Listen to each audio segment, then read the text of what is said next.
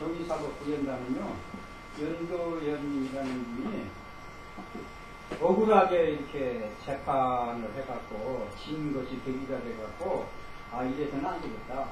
어, 그래서 어떻게든지 사법정의를 일어나야 되겠다. 이래 이름을 정의사법구현단이라고 해서 이걸 그분이 투자해서 만들어놨어요.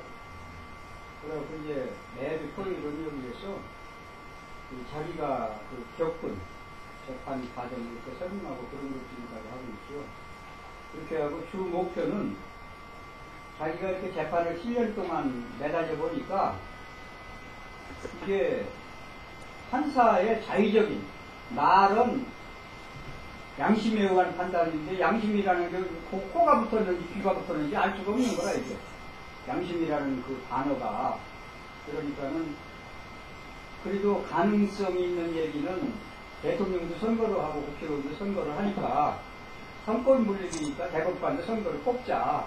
그러면은 국민 앞에서 대법관이 나와갖고 공약을 할 거 아니냐. 나는 이렇게 재판하겠다, 저렇게 재판하겠다. 국민으로부터 심판을 받아서 뽑아야 그래도 공정한 재판이 되겠다. 이런 취지로서 이제 참아내는 거예요. 근데 많은 사람들이 야, 그게 누굴 맘대로 되겠냐. 그래. 그럼 내가 그런 얘기를 합니다. 잘은 내가 연도를 기억 못하는지 천주교 쪽에서 이 지구가 도는 거다. 그랬더니 전부 그 처벌했잖아요. 예. 결국은 됐거든요. 그러면은 우리가 관점을 바꿔야 되는 거지.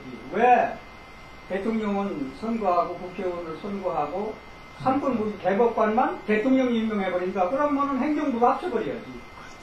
예, 대법원 저기 대통령하기 임명권, 임명이 있다면 행정권으로 들어가는 거니까, 근데 대법원이 행정권에 들어가 있다고.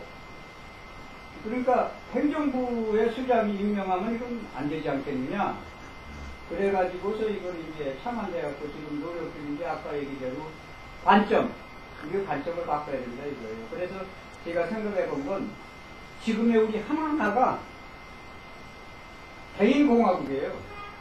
지금 우리가 갖고 있는 상식은 옛날에 왕에 갖고 있는 데이터보다 더 많은 걸 알고 있어요.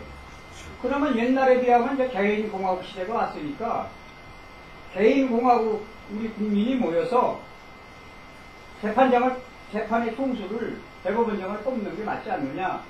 이렇게 이제 생각하고서 지금 착수했는데 앞으로 대법원장이 선거제도부터 해서 국민이 억울한 재판을 받지 않도록 이런 시대가 오기를 기대합니다. 이상입니다. 감사합니다. 딱 3분 걸렸네요.